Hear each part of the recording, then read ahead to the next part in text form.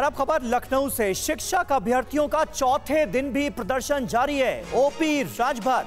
योगी सरकार में कैबिनेट मंत्री ओपी राजभर के घर के बाहर इस वक्त शिक्षक अभ्यर्थी जुटे हुए हैं और प्रदर्शन कर रहे हैं। ये तस्वीरें आप देखिए, ओपी राजभर के घर के बाहर ये प्रदर्शन हो रहा है। उनसठ, उनहत्तर हज़ार पदों का ये पूरा का पूरा मामला और आरक्षण में घोटाला किया गया है, ये आरोप लगाया जा रहा है शिक्षक अभ्यर्थियों की तरफ़ से। इससे पहले हमने देखा था किस तरह से यूपी के जो डेप्यूटी सीएम है, केशव प्रसाद मौर्य, उनके घर के बाहर जो अभ्यर्थी हैं, वो जमा हुए थे, जोरदार प्रदर्शन किया गया था। इसके बाद आशीष पटेल, जो कि मंत्री हैं, उनके घर के बाहर तमाम अभ्यर्थी जुटे और अब ओपी राजभर के घर के बाहर प्रदर्शन जारी है। चौथे दिन भी ये प्रदर्शन लगातार चल रहा है नियुक्ति की। मांग को लेकर शिक्षक अभ्यर्थी धरने पर यहाँ पर बैठे हुए हैं। पंकज झा हमारे साथ इस वक्त हमारे रोविंग एडिटर जुड़ रहे हैं। पंकज, ये पूरा मामला लगातार तूल पकड़ता हुआ नज़र आ रहा है। क्या कहना है अभ्यर्थियों का? और कोई सुनवाई हो भी रही है इनकी या नहीं?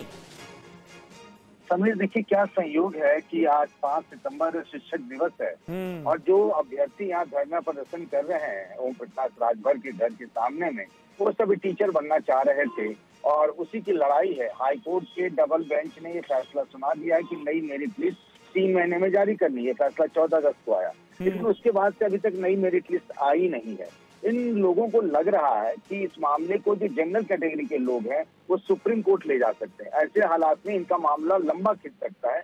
इसीलिए लगातार आपने देखा होगा कि पहले केशव प्रसाद मौर्य, फिर आशीष पटेल फिर भूपेन्द्र चौधरी बीजेपी के प्रदेश अध्यक्ष आज ओम प्रकाश राजभर। और ये संयोग देखिए कि सभी पिछड़ी बिरादरी के नेता जिनके घर पर जा रहे हैं ये लोग भी ओबीसी कैटेगरी के अभ्यर्थी हैं और इनका ये कहना है कि सिद्धि जारी कर दीजिए कि कब किसको नियुक्ति पत्र दिया जाएगा। बात खत्म हो जाएगी हम धरना प्रदर्शन हटा लेंगे। और जिन अधिकारियों ने लापरवाही बरती थी जिनकी वजह से मेरिट लिस्ट में गड़बड़ी हुई थी उनको हटाया जाए। नए अधिकारियों को इस काम की ज़िम्मेदारी दी जाए। इन चार मांगों को लेकर ये लगातार धरना प्रदर्शन कर रहे हैं। नहीं तो पंकज, ये बताइए कि इलाहाबाद हाईकोर्ट का जब फैसला आ गया तो अब सरकार इस मामले में नई लिस्ट क्यों नहीं जारी कर रही? है और इस बात के आसार तो जताई जा रहे हैं और जनरल कैटेगरी से ताल्लुक रखने वाले कुछ छात्र सुप्रीम कोर्ट चले भी गए हैं इस मामले में।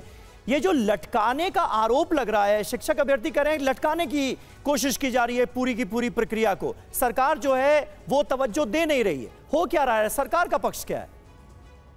देखिए सरकार की तरफ़ से तो यही कहा जा रहा है कि जो पहले दिन मुख्यमंत्री योगी आदित्यनाथ ने बेसिक शिक्षा विभाग की बैठक ली थी हाईकोर्ट के फैसले के बाद तब सरकारी आधिकारिक तौर पर यह कहा गया था कि हाईकोर्ट के फैसले का वो सम्मान करेंगे। लेकिन सवाल यहाँ है ना समीर की नीति और नियत नीति में गड़बड़ी हुई थी तभी तो हाईकोर्ट का ये फैसला आया। अब सवाल उठता है नियत का।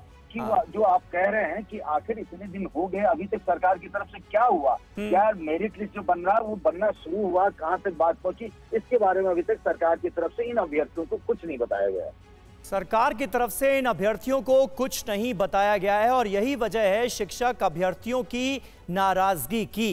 कोई आश्वासन, कोई भरोसा नहीं दिया गया है। मेरिट लिस्ट बननी शुरू भी हो गई है या नहीं, इलाहाबाद हाईकोर्ट के आदेश के बाद ये भी जानकारी नहीं दी जा रही है और जनरल कैटेगरी के कुछ छात्र चले गए हैं सुप्रीम कोर्ट। ऐसे में ये मामला लटक ना जाए।